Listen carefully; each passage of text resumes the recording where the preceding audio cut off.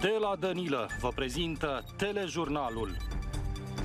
Doamnelor, domnilor, bună seara și bine v-am regăsit la telejurnal. Iată principalele subiecte. Pilotul și inginerul de bord moldoveni care au fost ținuți ostatici timp de trei ani și jumătate în Afganistan au ajuns astăzi în Republica Moldova. Încă doi elevi de la gimnaziul din Tohatin au fost internați la spital suferind de intoxicație alimentare. Astfel, numărul victimelor a ajuns la 12 copii aflați de ieri în spital se simt mai bine. Guvernul de la Chișinău și-a asumat răspunderea pentru indexarea pensiilor și ajutoarele de Paște oferite celor cu venituri mici. La Indian Wells, tenismenul basarabean Radu Albot a trecut de calificări și va juca pe tabloul principal al turneului. În prima rundă îl va întâlni pe românul Marius Copil.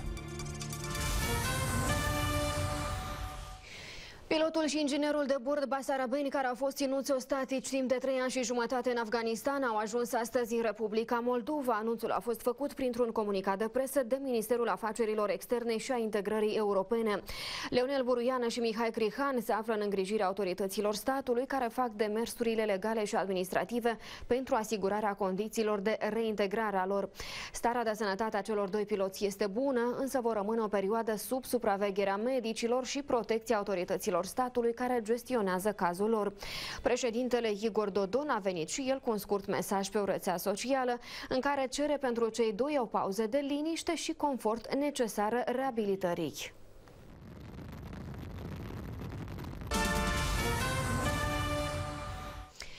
A crescut numărul copiilor care suferă de intoxicație alimentară după ce au mâncat la cantina școlii. Aseară încă doi elevi de la gimnaziul numărul 74 din Tohatin au fost internați la spital. Astfel, numărul victimelor a ajuns la 12. Ei au prezentat aceleași simptome, vomă, diaree și febră. Între timp, cei doi elevi care ieri erau în reanimare au fost transferați într-o secție a spitalului. În prezent, toți elevii sunt într-o stare mai bună, a declarat pentru TVR Moldova directorul Spitalului Municipal de Boli Contagioase serioase pentru copii. Elevii s-au simțit brusc rău după ce ar fi mâncat la școală. Hrana a fost livrată de combinatul alimentar Adolescența din sectorul Ciocana, a cărui activitate a fost sistată. Agenția Națională pentru Sănătate Publică a prelevat probe și investigează acest caz. Franța trage un semnal de alarmă cu privire la utilizarea unui medicament ce există și în farmaciile din Republica Moldova.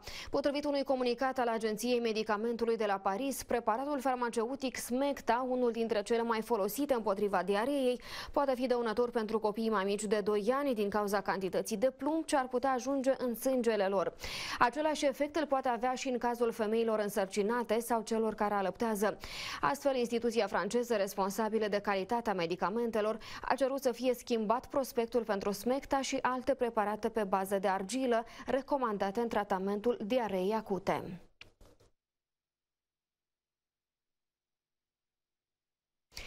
Indexarea pensiilor pentru toți beneficiarii și acordarea unui ajutor în valoare de 600 de lei cu ocazia sărbătorilor de Paște pentru persoanele cu venituri mai mici de 2000 de lei.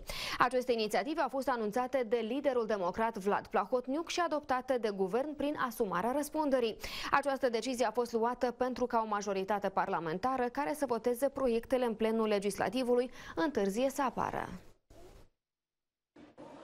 Potrivit democraților, de la 1 aprilie, pensiile urmează să fie indexate cu 5,3%. Cifra a fost calculată în funcție de medie inflației pentru ultimii trei ani. Democrații subliniază că promisiunile din campania electorală vor fi respectate, iar oamenii cu venituri mai mici de 2000 de lei lunar vor primi și un ajutor financiar în valoare de 600 de lei cu ocazia sărbătorilor pascale. Am decis să oferim acești bani prin asumarea răspunderii guvernului, deoarece există totuși riscul ca, din cauza partidelor care refuză dialogul politic, blocajul în care ne aflăm după alegeri să fie unul de durată, iar în rezultat pensionarii ar fi putut să nu mai primească acești bani de Paște. Liderul democrat spune că așteaptă ca reprezentanții blocului electoral acum să dea curs invitației PD la negocieri în vederea identificării unei coaliții majoritare care să voteze noul guvern. Noi suntem deschiși dialogului și vrem cât mai curând să avem instituții de plin funcționale ca să putem lucra în plină forță pentru oameni. Cetățenii pentru asta au votat partidele, nu ca aceste partide sau liderii acestor partide să facă mofturi după electorală și să ducă din nou țara în alegeri anticipate. Sâmbătă, Curtea Constituțională va examina legalitatea scrutinului parlamentar din 24 februarie. Guvernul condus de Pavel Filip are împuterniciri de pline până la validarea alegerilor de către înalta instanță. Ulterior, până la investirea unui nou executiv, cabinetul de miniștri va fi în exercițiu. Vlad Vlahotniuc anunță, iar guvernul execută, după ce în dimineața zilei liderul PDM a anunțat că urmează indexarea pensiilor și acordarea de ajutoare financiare cu ocazia sărbătorilor de Paști. Peste câteva ore, executivul și-a asumat răspunderea pentru proiectele promise. 610.000 de pensionari și beneficiari de pensii sociale care au venituri mai mici de 2.000 de lei lunar vor primi ajutor de Paști din partea statului. De asemenea, de la 1 aprilie, vârstnicii vor lua pensii majorate, indexate după o formulă nouă, coeficientul fiind dublu față de anul trecut. De unde bani? Exact de acolo de unde și făceam prognozele la început de an, de creștere economică, din sporirea încasărilor, pe primele două luni ale anului 2019, excedentul de venituri la bugetul public național se apropie de 600 de milioane de lei.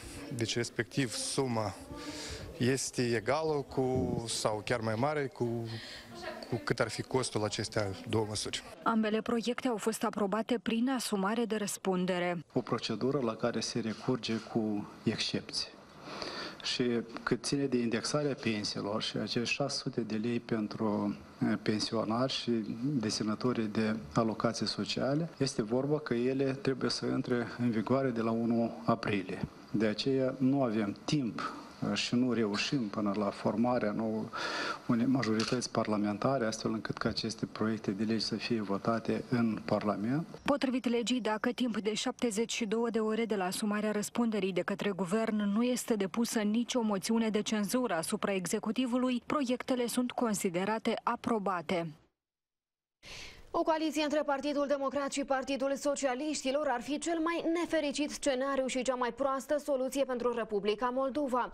Opinia a fost exprimată la emisiunea Punctul pe azi de la TVR Moldova de fostul președinte al Curții Constituționale de la Chișinău, Alexandru Tănase. Eu cred că la acest moment orice scenarii sunt uh, posibile. Uh, nu putem exclude până la capăt o coaliție între Partidul Democrat și acum. Asta ar însemna sinucidere politică pentru blocul acum. Eu nu aș fi atât de sigur. Campania s-a încheiat, prin urmare, cred că este cazul de a, de a începe, de a judeca lucrurile puțin din altă perspectivă. Nu, nu putem exclude o coaliție între PSRM și Partidul Democrat. Din punctul meu de vedere, ar fi cea mai proastă soluție. Ar fi o soluție total nedorită ca Dodon și ortacii săi să devină parte a guvernării, să poată influența anumite decizii politice. Imaginați-vă că cum ar arăta Republica Moldova în cazul în care Partidul Socialiștilor ar influența deciziile de politică externă. Ar fi și un afront în adresa României, în special. Ar fi, eu cred că este cea, cea mai, cel mai nefericit scenariu și cea mai proastă soluție. Am mai spus-o și cu alte ocazii. După această campanie este absolut evident că este, este apogeul pe Partidul Socialist. De acum încolo va fi eu în trend descendent? Ascendent în mod clar nu va fi. În mod clar nu va fi. Vom asista la o...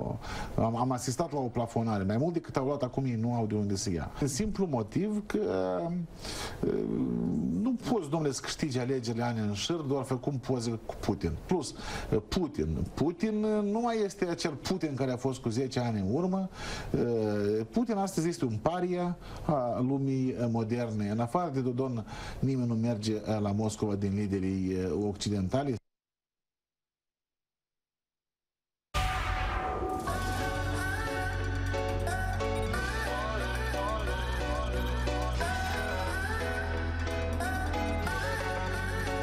Pentru unii dansul este doar o modalitate de a-și petrece într-un mod plăcut timpul liber, pentru alții însă este un mod de viață, este și cazul perechii Simona Bulat și Dan Tănas, multiplu medaliate la competiții interne și internaționale. Vă invităm să-i cunoașteți mai târziu în telejurnal. Fiți aproape de noi!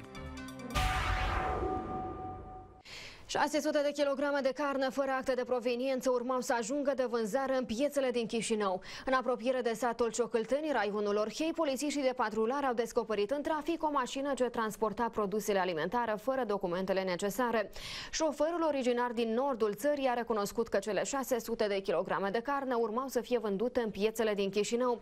Marfa a fost confiscată, iar conducătorul auto sancționat contravențional pentru transport de produse animale fără acte legale.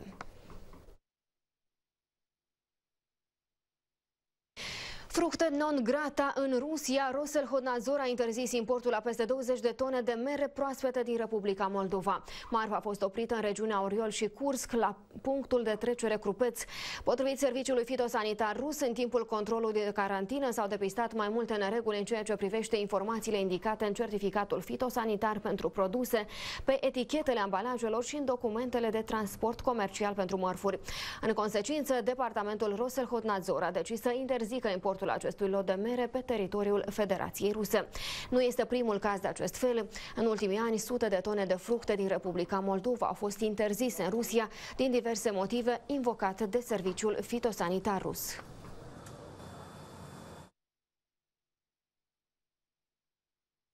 După ce soarta a fost crudă cu persoanele cu dizabilități și tulburări mentale, ele au parte și de un tratament inuman în instituțiile psihiatrice din Republica Moldova.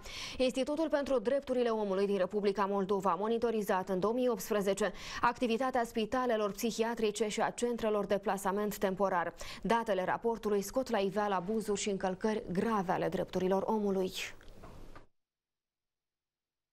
Cea mai gravă abatere constatată este internarea pacienților în spitalele de psihiatrie fără consemțământul lor. În caz că aceștia refuză, legea oferă instituțiilor medicale posibilitatea să se adreseze în instanță de judecată pentru a-i trata în mod forțat și le reușește, spun experții, deoarece avizele medicale prezentate nu conțin argumente solide. În ultimii trei ani, doar în spitalul psihiatric din Chișinău, instanța a decis internarea forțată a 700 de pacienți, iar în celelalte două instituții din Orhei și Bălți au fost 5 50 de cazuri. De iure, toate restul internărilor sunt de bună voie, ceea ce este un, pentru noi un dubiu foarte mare, că atunci când mergem în instituții, ușile sunt închise și când întrebăm dacă cineva stă acolo de bună voie, toți spun că ridică mâna și spun că vor să plece acasă.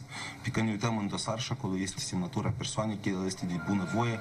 Experții au dedus că mulți dintre pacienții care s-au internat benevol au fost de fapt constrânși să facă acest lucru. Instituțiile nu au personal pregătit ca să meargă în instanțele de judecată. Și aici se primește situația că instituțiile medicale și medici în aceste secții trebuie să recurgă la anumite șericlicuri pentru ca persoana să-și pună semnătura. Putem să ne trezim cu dosare penale față de medici pentru detenția sau privarea de libertate ilegală a anumitor persoane. Nici avocații din partea statului nu depun eforturi pentru a le face dreptate pacienților internați forțat. Aceștia nu-și vizitează clienții și nici nu contestă deciziile judecătorilor. Iar persoana din spital individual nu o poate face, nici pregătirea respectivă nu o are. Cei care au încercat, ele s-au respins pentru că nu au avut împuternicire. Rudele și autoritățile locale solicită cel mai des internarea persoanelor cu boli mentale. Există în Republica Moldova și legislație și o gamă foarte mare de servicii care autoritățile publice locale le pot oferi acestor persoane, însă autoritățile publice locale nu întotdeauna se preocupă de asta și le este mai ușor să-l ducă. Plus, rudele, pentru că au interese. Experții de la IDOM au mai constatat încălcări precum abuzul verbal și fizic din partea personalului medical, plasarea pacienților condamnați și periculoși în aceleași încăperi cu pacienții internați benevol, administrarea tratamentelor psihotrope fără prescripția psihiatrului, clădiri și încăperi neadaptate la nevoile persoanelor cu dizabilități locomotorii și senzoriale. Pacienții nu pot să comunice aceste abuzuri deoarece nu au acces la telefon. Experții au venit și cu o soluție pentru autorități și anume să permită crearea cabinetelor psihiatrice private. Așa cum avem la fiecare colț clinici stomatologice, de ce n-ar primi un medic psihiatru o licență? Raportul elaborat conține și recomandări pentru fiecare instituție în parte și va fi prezentat autorităților. În Republica Moldova activează șase centre de plasament temporar și trei spitale psihiatrice, unde se află aproape 4.000 de persoane. Mulți sunt cei care au pășit pragul sălilor de dans, însă puțini aleg să muncească ani în șir pentru a ajunge într-un final campioni în acest domeniu. Un exemplu este tânărul pe care vă invităm să-l descoperiți astăzi într-un reportaj realizat de colegii noștri de la Matinalii.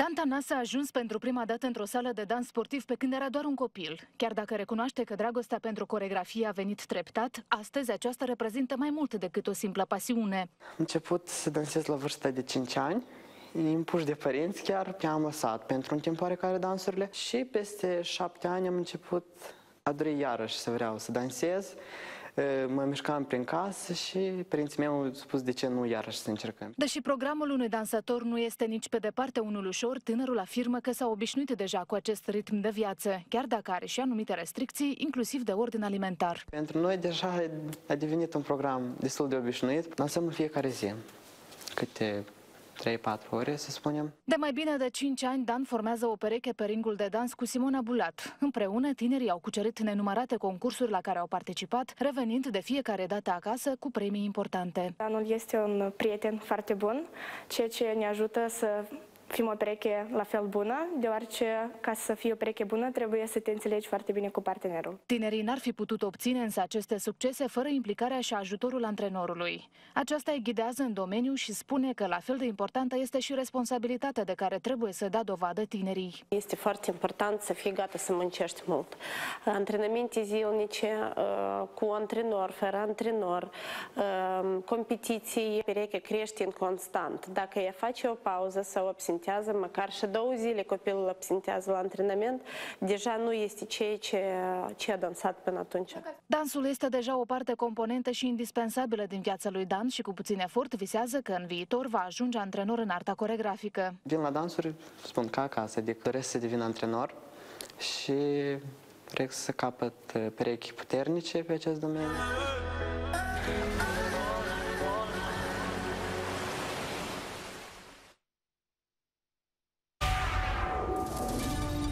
Își găsesc aici a doua casă pentru că descoperă oportunități pe care nu le au acolo unde s-au născut. Republica Moldova devine tot mai atractivă pentru studenții din străinătate. Ei ajung aici prin intermediul mai multor programe de bursă imediat în telejurnal. O cunoaștem pe Sara, o tânără din Congo. Oricine am fi în lume, nu suntem pentru că așa am vrut, este creatorul care ne-a făcut. Acesta este mesajul emoționant al expoziției fotografice Un soare printre noi, care include portretele a 25 de persoane cu sindromul Down. Organizatorii și-au dorit să scoată la iveală emoțiile lor, astfel încât să privim cu alți ochi, pentru că, că sunt deosebiți față de noi grație iubirii nemărginite pe care o emană.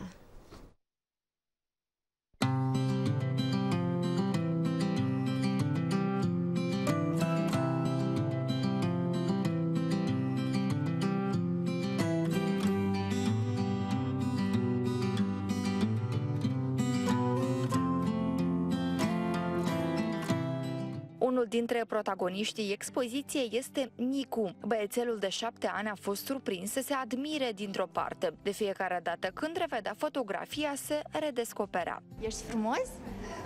Da. Nicu a venit împreună cu mama și cu cei doi frați ai săi. Mare a fost bucuria mamei când și-a văzut copilul în fotografiile expuse. Spune că i-a fost greu să-l crească și să le duce, însă tocmai pentru că societatea nu este destul de înțelegătoare cu ei. Am depășit momentul și am hotărât să concepem următorul copil, să fie o diferență de vârstă foarte mică, tocmai pentru a ne fi și nou mai ușor și copilului să se dezvolte, uh, pentru că ei uh, foarte ușor uh, învață din, din a imita, a copia de la alții de vârsta lor. O altă eroină a expoziției este Maria. La cei șapte ani ai săi, fetița a pozat ca o vedetă și nu s-a sfiit de camera de luat vederi. Ție ți-a plăcut să te fotografiezi? Ne dă nouă numai dragoste. Ea când vine între noi și ne apucă pe mine cu o mână, pe Olga pe partea cealaltă, așa și face... Mm.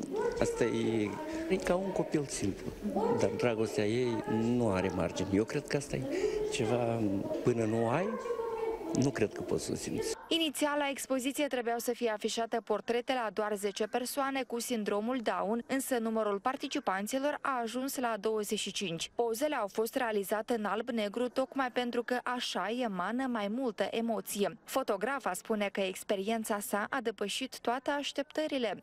În mare parte a fost uh, ușor pentru că am avut ajutor în spate. În spate erau părinții care făceau, făceau tot felul de, de grimase și uh, chemau și ei reacționau. Dar și cu unii din ei, uh, pur și simplu doar eu, reușeam să obțin emoția și au fost câțiva care un pic mai, uh, mai dificil, dar noi oricum ne-am descurcat. Organizatorii expoziției spun că își doresc să sensibilizeze publicul față de acești copii și familiile din care fac parte. Societatea să fie mai tolerantă față de noi. Ne dorim anume să spargem prejudecățile și stereotipurile uh, de genul că să acești copii sunt bolnavi. Sindromul Down nu este o boală, este o afecțiune genetică. Ea nu se transmite, nu se molipsește. Puteți face cunoștință cu cei 25 copii soare și îi puteți admira în cadrul acestei expoziții până pe 23 martie. S-au informat și au acționat peste 2000 de persoane cu nevoi speciale au învățat că au dreptul să voteze și că trebuie să o facă conștient. Mai mult, după 10 de ani petrecuți în instituții rezidențiale, au participat pentru prima dată la alegeri. Este rezultatul proiectului Vot Informat și Asumat, implementat de Asociația Keystone Moldova. Pe lângă stereotipuri, frică sau probleme de acces, cea mai importantă barieră pentru persoanele cu dizabilități rămâne lipsa de informare, în special când e vorba de alegeri. Acest proiect și-a propus să suplinească golul. A spori participarea persoanelor cu dizabilități din Republica Moldova la alegerile parlamentare uh, care au avut loc deja și această participare am dorit-o să fie una informată și asumată. Astfel, peste 2000 de persoane cu dizabilități și persoane de suport din 10 raioane, inclusiv 6 centre de plasament, au participat la ateliere de informare despre alegeri. Deși din 2 iunie 2018 au primit dreptul la vot, mai bine de jumătate dintre participanți nu știau acest lucru. Alții au zis că niciodată nu mi-am dat seama că eu, ca persoană cu dizabilități, pot să votez, adică chiar nefiind lipsită de capacitate juridică. 97% dintre participanți au apreciat atelierele drept foarte utile, iar adevăratele rezultate s-au văzut în ziua alegerilor din 24 februarie. A crescut atât rata de participare la vot, cât și asumarea acestui exercițiu, în special în instituțiile rezidențiale. Este vorba de 32 de băieți din, de la Orhei și 54 cam de la Fincești. Vorbim de o creștere fără dor și poate, pentru că vă zic, în, alte, în alți ani, la alegeri, au participat unități. Adică foarte puțin. Vă dau exemplu, instituția de la, de la Hâncești n-au participat în general fetele. Mi-am dat seama că deciziile de vot au fost uh, informate și persoanele cu dizabilități și-au asumat în mod conștient aceste decizii, cele care au participat la alegeri. Știm că s-a redus nivelul de influențare a acestor decizii de vot, mai ales în mediul rezidențial. Proiectul Vot Informat și Asumat a fost implementat de Asociația Chiston Moldova în perioada decembrie 2018-aprilie 2019, cu suportul Asociației Promolex din resursele Agenției Statelor Unite pentru Dezvoltare Internațională. Pentru elevii din Republica Moldova, astăzi a început vacanța de primăvară. Aceasta va dura patru zile, iar copiii vor reveni la ore luni 11 martie. Vacanțele elevilor au fost stabilite de Ministerul Educației, astfel încât aceștia să stea acasă de mai multe ori pe parcursul anului. Elevii vor avea următoarea vacanță de Paști în perioada 27 aprilie-6 mai, iar de la data de 31 mai, când se încheie anul de studii, copiii vor sta acasă până pe 31 august. În instituțiile de învățământ din Republica Moldova își fac studiile circa 325.000 de elevi. Republica Moldova devine tot mai atractivă pentru studenții din străinătate. Ei ajung aici prin intermediul mai multor programe de burse. Colegii noștri de la Matinali au făcut cunoștință cu Sara, o tânără din Congo. Ce a tras în Republica Moldova aflăm din reportajul care urmează. A schimbat temperaturile caniculare pe cele patru anotimpuri din Republica Moldova. Vorbim despre Sara, o tânără din Congo care a sosit la Chișinău acum 2 ani și studiază jurnalismul. Între timp a reușit să îndrăgească aici până și iernile geroase. Deja am ajuns în iarnă și era frig. Și cu, cu limba era mai complicat, nu știam nimic la începutul. În Moldova îmi place mâncare și am găsit uh, niște prieteni, prieteni buni. Și am călătorit, am descoperit Balcii, Ohei, Creolenii, Vadul Voda și alte sute. Mereu cu zâmbetul pe buze, Sara și-a ales aici o facultate care îi se potrivește. În Congo, spune ea, nu ar fi avut atâtea oportunități ca în Republica Moldova. Cu studiile uh, îmi place și cu profesorii, tot, sunt, tot sunt ok. Dar acum, la moment, mă gândesc despre masterat. Da, că sunt uh, în cercetări. În timpul liber, mă plimb, mă întâlnesc cu, cu niște prieteni. Fiind o fire deschisă, Sara a reușit repede să-și facă prieteni aici. De fapt, eu pe Sara am cunoscut-o chiar din primele zile când am venit la universitate, am stat în cămin și am înțeles că Sara de fapt are mai mulți prieteni decât am eu, prieteni în Moldova timp de o viață de 20 de ani și este foarte interesant pentru că de fiecare dată îi adresez întrebări despre cultura ei, despre felul ei de a fi, despre cum se trăiește de fapt în Africa și care sunt diferențele culturale și este foarte interesant să aflu de fapt în fiecare zi ceva nou. Schimbul de experiență între studenți din diferite țări este asigurat de mai multe organizații la nivel european și nu numai. Sergei Adamov este managerul Erasmus Student Association from Moldova, o entitate care facilitează mobilitatea academică.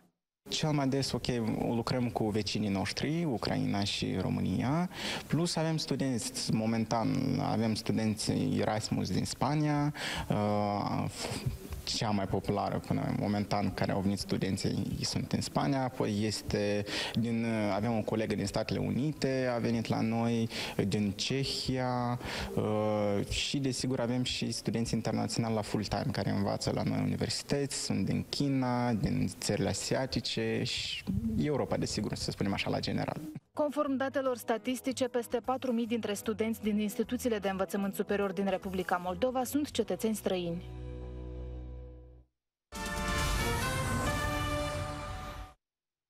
Parlamentul European o va susține pe Laura Codruța Chiove și la negocierile cu Consiliul Uniunii Europene pentru funcția de procuror șef european. Echipa de negociere are mandat clar de susținere pentru fosta șefa Direcției Naționale Anticorupție din România în negocierile cu Consiliul. Discuțiile ar urma să dureze două săptămâni. De partea cealaltă, din partea Consiliului Uniunii Europene, la negocieri va participa o echipă formată din trei ambasadori din partea Finlandei, Croației și Portugaliei, țările care vor prelua președinția președinția rotativă după terminarea mandatului României. Cu 26 de voturi, Laura Codruța Chioveș a ieșit pe primul loc după votul din Comisia de Libertăți și Justiție.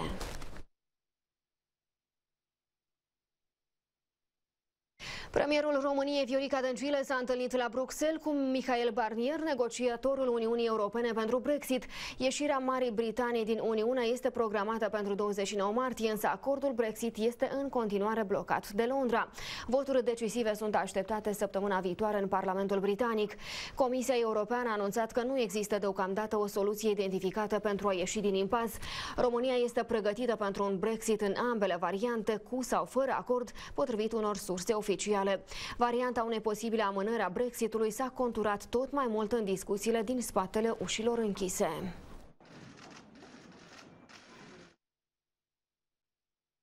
În România mai mulți studenți au ieșit în stradă. La Iași au protestat chiar studenții Facultății de Drept de la Universitatea Alexandru Ioan Cuza, unde a fost rector ministrul Justiției Tudorel Toader.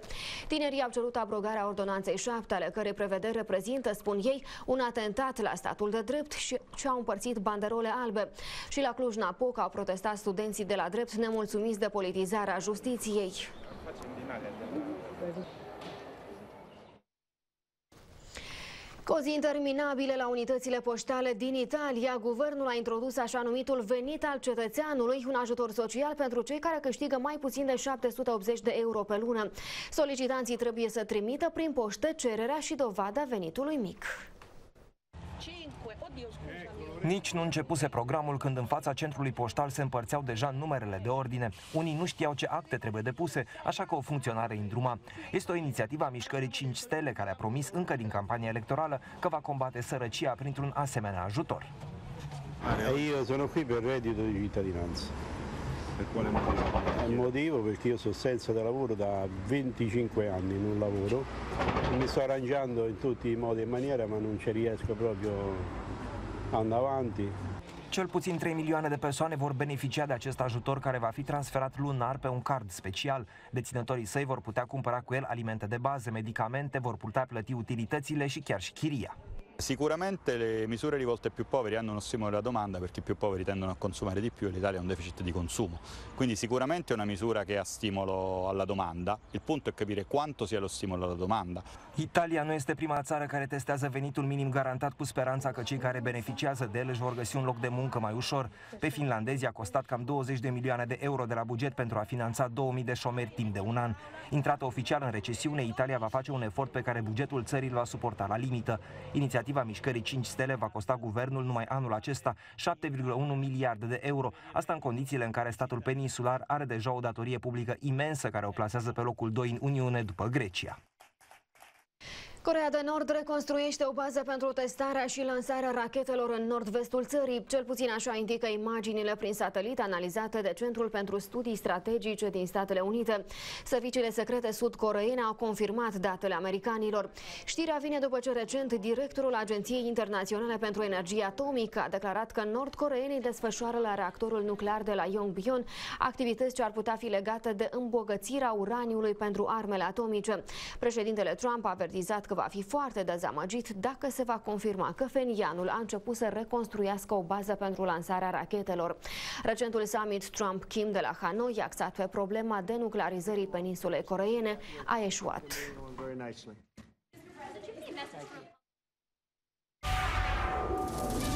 Mai regină decât floarea, doar femeia poate de fi. Mai adâncă decât În ajun de 8 martie, un robot a dat dovadă că nu este doar o mașinărie, ci are o inimă care bate puternic pentru femeile din Republica Moldova. Îl ascultăm mai târziu în telejurnal. Rămâneți alături de noi! Ziua de 8 martie nu este despre flori și cadouri, ci despre respect și drepturi egale pentru femei. Cu acest mesaj a venit astăzi Alina Andronache, autoarea vlogului unei mame feministe. Activismul civic îndeamnă ca în această zi să celebrăm progresele înregistrate, să sensibilizăm societatea, dar și autoritățile despre problemele cu care se confruntă zilnic femeile din Republica Moldova.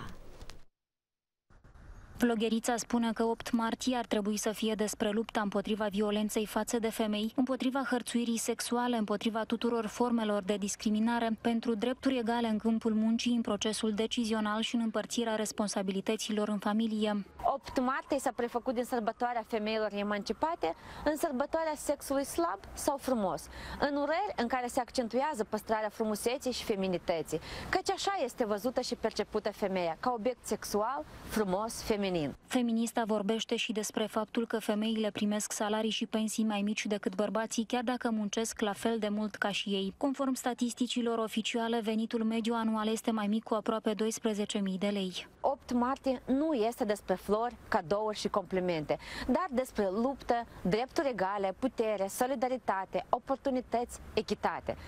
Astăzi ne bucurăm de mai multe drepturi decât strămoașele noastre. Avem drept de vot, dreptul la proprietate, dreptul la educație, la divorț, la asistență medicală, la contracepție. Totuși, mai avem încă mult de luptat. 8 martie e despre luptă. Anul ăsta, ca și în anii precedenți, în această zi voi participa la marș. Marșul Solidarității de 8 martie. Voi participa la marș deoarece în Republica Moldova 193.000 de femei sunt inactive pe piața muncii din cauza treburilor casnice. Fiecare a cincea femeie angajată de Republica Moldova este supusă unor forme subtile de hărțuire sexuală la locul de muncă. Alina Andronache a venit cu un mesaj și către autorități. Dragi politicieni, femeile din Moldova nu au nevoie de spoturi, complimente și concerte. Au nevoie de măsuri care vor îmbunătăți viața lor. 50 de organizații, activiști și activiste au expediat un manifest al egalității de gen cu măsuri și priorități pentru următorii ani.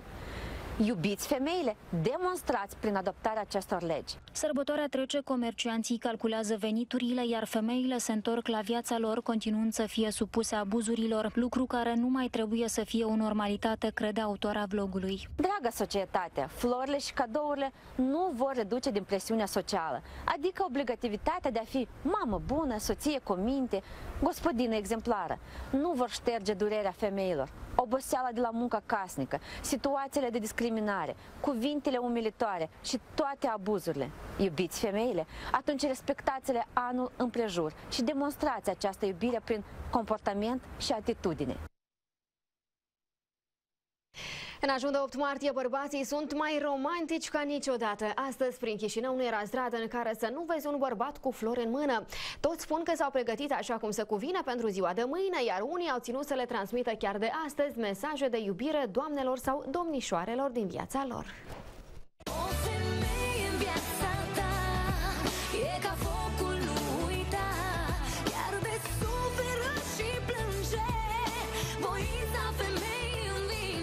Trebuie numai cât flori comparați, să dorim multă sănătate și e, succese în viață și în familie să aibă tot bucurie. Vă doresc la toate mamele din lume să fiți iubite, să aveți fericire.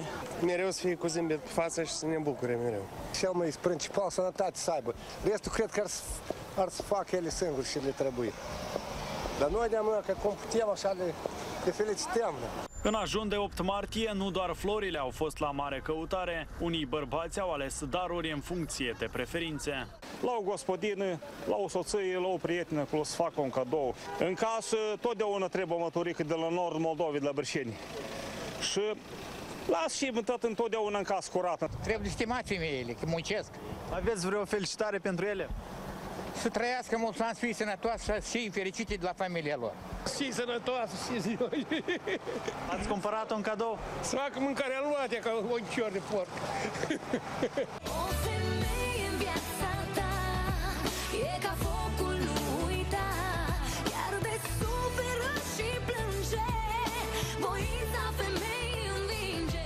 8 martie, toți bugetarii din Republica Moldova vor avea liber. Ziua Internațională a Femeii a fost adoptată în 1977 printr-o rezoluție a adunării generale a ONU.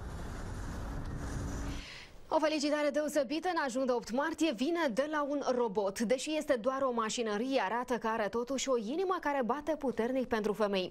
Felicitarea nu a fost deloc simplă, ci lirică. Robotul a recitat din poeziile lui Dumitru Matkovski mai regină decât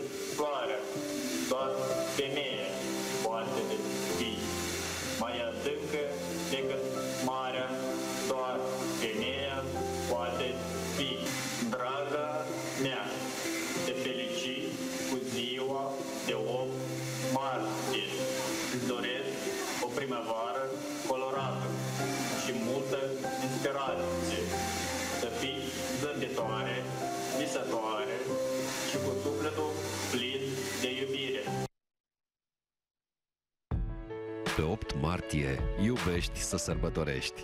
De ziua femeii spui dintr-o suflare, tu ești primăvara mea. Petrece o zi plină de zâmbete. TVR Moldova te răsfață cu programe speciale.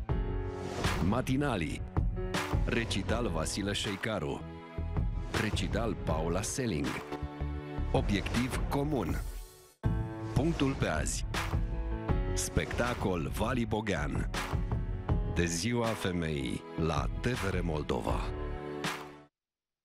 pe 10 martie va fi lansat videoclipul piesei Una Sand. Este melodia cu care Esther Peuni va reprezenta România la Eurovision Song Contest de la Tel Aviv.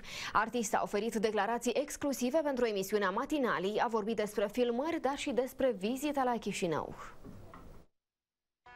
Reprezentanta României la Eurovision se pregătește intens de marele concurs. A filmat deja videoclipul piesei și abia așteaptă să-l lanseze pe 10 martie. Pot să spun că videoclipul a fost filmat la Casa Monteoru, uh, alături de uh, Petre Năstase, uh, regizorul. Am avut o echipă imensă și abia așteptăm să, să vi le arătăm. Am avut un husky acolo pe care îl cheamă Igor, a fost mereu cu mine, a încercat să mă și apere la un moment dat uh, și uh, uh, pentru show-ul de la Tel Aviv uh, lucrăm intens. Uh, am început să mă duc la orele de canto, să ne gândim la o coregrafie, uh, însă nu pot să vă dau mai multe detalii, prefer să rămână o surpriză. În cadrul emisiunii matinalii, artista din România a vorbit și despre reprezentanta Republicii Moldova la Eurovision. M-am simțit extraordinar la Chișinău, a fost pentru prima dată uh, pentru mine.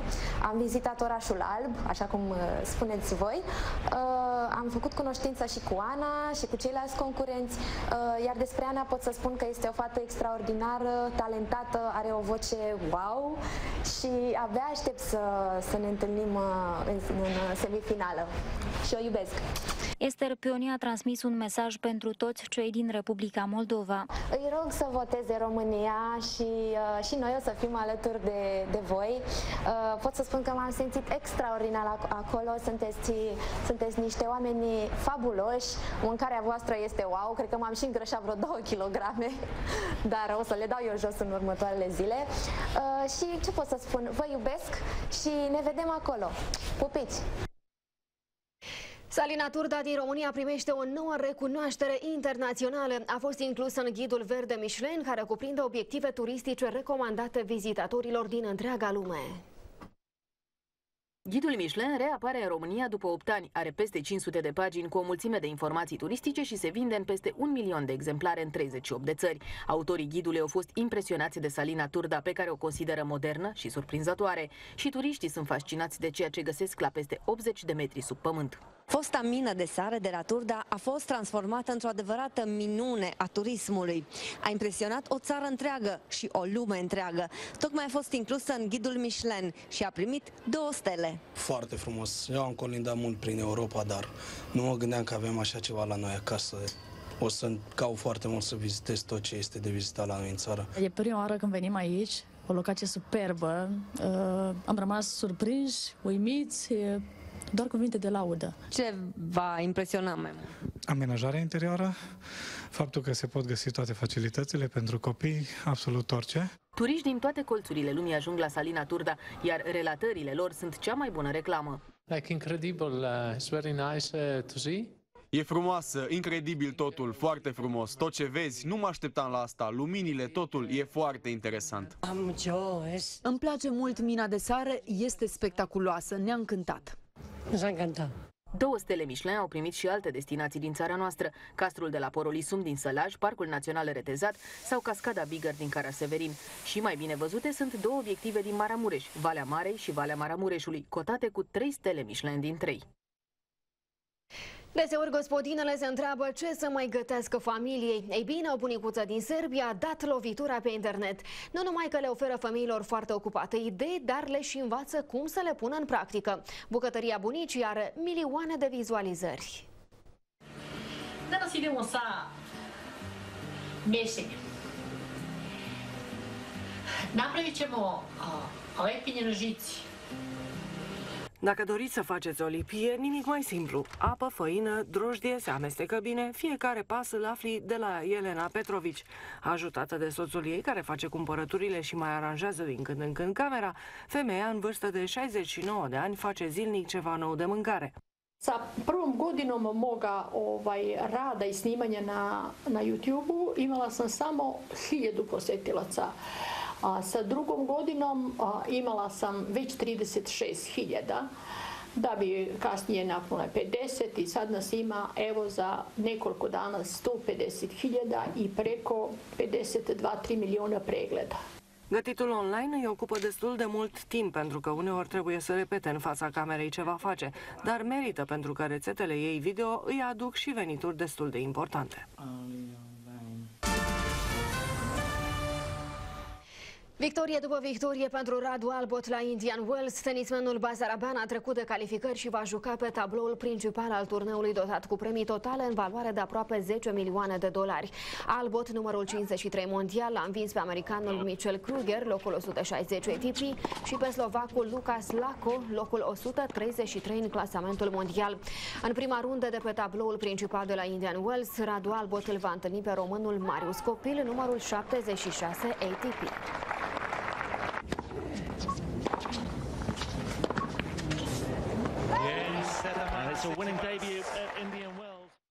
Să urmărim în continuare principalele cotații valutare pentru mâine. Leul moldovenesc își menține trendul ascendent. Pentru mâine, Banca Națională a Moldovei a stabilit un curs oficial de 17 lei și 8 bani pentru un dolar american, cu 2 bani mai puțin. Moneda europeană se ieftinește cu încă 7 bani. Mâine un euro va valora 19 lei și 31 de bani. Leul românesc va fi cotat la 4 lei și 6 bani cu 2 bani mai puțin. Hrivna ucraineană rămâne neschimbată și va valora 64 de bani. Rubla rusească se ieftinește cu un ban și va fi 25 de bani. Ce vreme ne așteaptă mâine aflăm chiar acum din rubrica Meteo.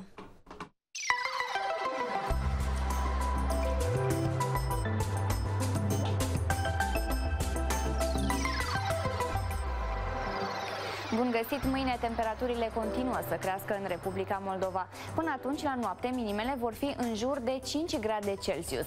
Așadar, mâine cerul va fi variabil întreaga zi, fără ploi, dar cu maxime în descreștere. Mercurul din termometre va oscila între 14 și 16 grade.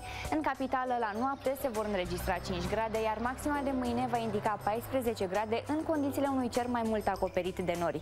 Și în România, vremea va fi foarte caldă, cerul variabil, mai mult noros noaptea. Maximele vor oscila între 16 și 22 de grade. Acestea au fost informațiile. Să aveți o seară frumoasă!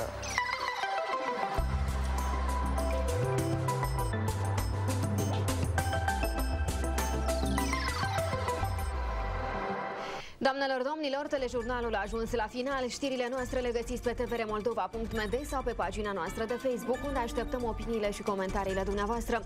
Rămâneți cu TVR Moldova, unde în câteva minute începe emisiunea Punctul pe azi. Eu sunt Stella Danilă și vă mulțumesc pentru atenție. O seară liniștită să aveți. La revedere!